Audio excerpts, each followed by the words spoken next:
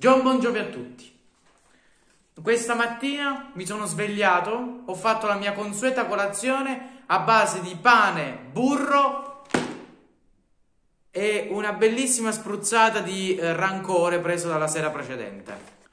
Non sono per niente contento dei turni infrasettimanali perché ogni volta prendiamo, prendiamo le peggio sconfitte della nostra storia. E io questa settimana non mi sento di sgridare la mia squadra. Perché loro hanno fatto il loro dovere. I, giocatori che ho messo in campo sono andati avanti con la voglia di giocare, a parte qualcuno e tra poco lo vedremo. Giocavamo contro l'ultima in classifica, la squadra di... proprio lui, di Slingemi. Però volevo la vittoria per chiudere bene l'anno. E invece no, ma andiamo con i voti. Partiamo con un bellissimo voto che io credo eh, che sia stato questo a farci perdere e vedremo dopo perché. Infatti Cesny e ovviamente abbiamo scelto di mettere in campo la Juve contro la Fiorentina pensando che uh, non subisse gol. La Fiorentina che non segnava da, dall'era paleocristiana. Ne fa 3, la Juve ne segna 0, vince 3-0 la Fiorentina in casa della Juve. Che comunque è meglio di quella della Fiorentina.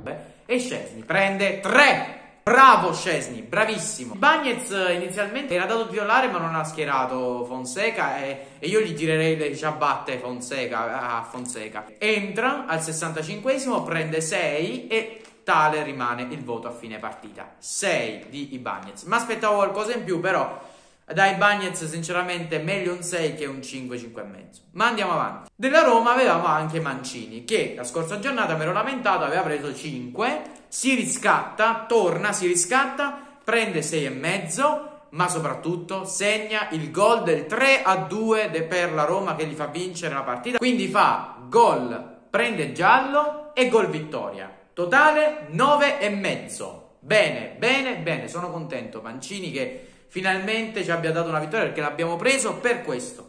Ma andiamo avanti. Teo Hernandez. Signori, io devo fare una statua a quest'uomo. Devo fare una statua a quest'uomo. Teo Hernandez mi salva il fantacalcio ogni dannata volta, anche se stavolta non è servito. Ieri però, all'ultimo minuto, ci ho creduto. È stato il momento, alla fine, sul finire delle partite, in cui ho più creduto alla, eh, in un possibile pareggio di quella partita. Teo Hernandez in una partita in cui stava prendendo 6, l'ho monitorato tutta la partita, 6, ha preso un giallo, 5 e mezzo, disperazione, all'ultimo secondo segna il gol vittoria per il Milan contro la Lazio, 3 a 2 per il risultato finale anche lì, 7 e mezzo di Teo Hernandez, gol vittoria e gol totale 10 e mezzo. Freuler. L'Atalanta si fa rimontare dal Bologna, fa 2 a 2 sul finale, Freuler gioca, non fa assist, non segna. 6. Freuler, da te mi aspetto qualcosa in più però. E ti metto sempre, eh, ma tu non segni mai. Se non ti metto e segni, Locatelli. Locatelli l'ho preso perché era uno dei migliori centrocampisti, nonostante fosse al Sassuolo. Il Sassuolo sta facendo bene, ma l'unico giocatore che non mi rende come vorrei è Locatelli. Locatelli prende 5, 5 e mezzo da almeno 10 partite, fisso, fisso, con giallo o senza giallo, sta giornata ha preso 6, ha preso giallo, ha preso 5 e mezzo e mi ha scombussato tutti i piani. È anche sua la colpa, ma più degli Juventini che sua, per questa sconfitta. Poi Barella, Inter, L'Inter vince, ma Barella non prende né 6,5, senza infamia e senza lode 6. Si prende il suo 6 secco, ma adesso arriva il pezzo forte del centrocampo. Signore e signori, un altro milanista che salva, che prova, ha provato durante la partita a salvare questo fantacalcio, lo ha fatto. Cialanoglu! Cialanoglu che prende 8, prende 8, fa 2 assist e segna il rigore. Voto finale 13! Eccolo, un altro 13. Ma adesso andiamo all'attacco. In attacco c'è la carenza. Orsolini rientrava, ma si era detto che giocava solo 30 minuti. Eppure entra. E fa anche assist. Ma io non l'ho schierato. E vabbè. Poi c'ho Pandev. Ma Pandev eh, non gioca titolare da un'era geologica. Titolare, voto 7. Perché prende un giallo, ma fa assist. E vabbè, eh, ma non era prevedibile Pandev, non l'abbiamo mai messo titolare. E poi c'avevi gli ultimi due, Morata e Simi. Simi, non si sa per quale motivo, il Crotone vince, ma lui prende 5,5. Non segna e non fa assist. Malissimo. Morata pure colpevole di questa sconfitta insieme a Scesni, perché la Juve perde 3-0 e lui prende 5,5. Morata, io ti ho comprato, ti ho speso pure poco, ma tu non puoi farmi queste prestazioni da 5,5. Io mi aspetto da te qualcosa in più contro la Fiorentina poi, ti sei mangiato certe occasioni. Non puoi finire a fare 5 e mezzo una partita, un assist, io da te me lo aspetto, sei la Juve.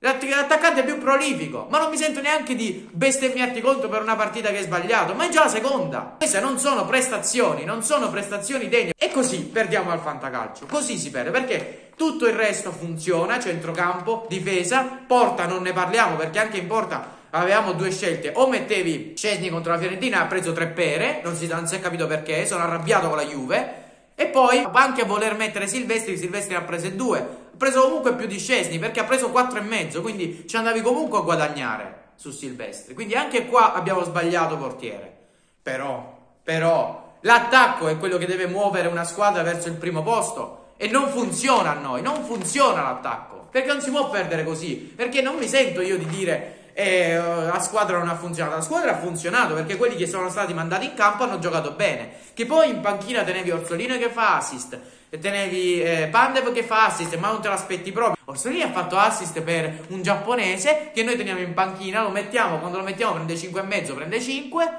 No, stavolta non l'abbiamo messo perché abbiamo detto, vabbè, contro l'Atalanta è inutile proprio. Mettiamo direttamente i Bagnets. Tomiyasu segna il gol del 2 a 1.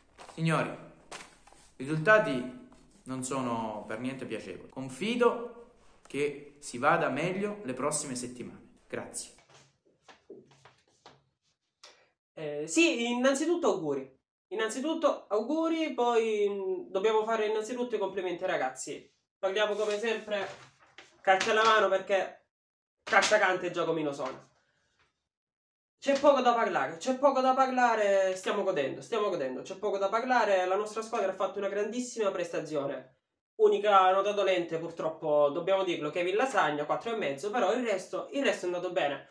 Consigli 4,5 perché ha subito due reti, Ferrari 6,5, Delict 5,5, uscito per infortunio, niente di grave, rassicuriamo i nostri tifosi.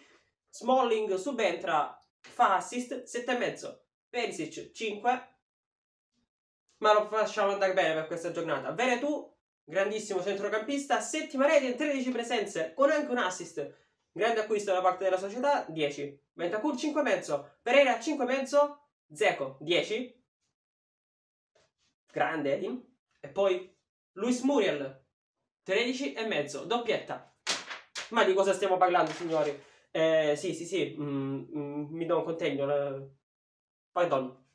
Sì, è stata una grande prestazione collettiva, abbiamo vinto di misura, giusto 3-2, eh, abbiamo portato a casa 4 punti in due partite contro la prima e la seconda della classifica. Andiamo alla pausa natalizia abbastanza soddisfatti, abbastanza soddisfatti, anche se, anche se eh, siamo comunque ultimi con 15 punti, ma abbiamo ridotto la classifica e l'obiettivo nostro dichiarato è il terzo posto perché sappiamo che ci sono squadre migliori di noi ma possiamo farcela, possiamo farcela. Sì, eh, la società farà le dovute, i dovuti ragionamenti a tavolino e speriamo, sono fiducioso che si muoveranno bene sul mercato durante la sessione invernale. Sì, eh, ci tengo a fare gli auguri anche al mio avversario che purtroppo ha preso tre scompole.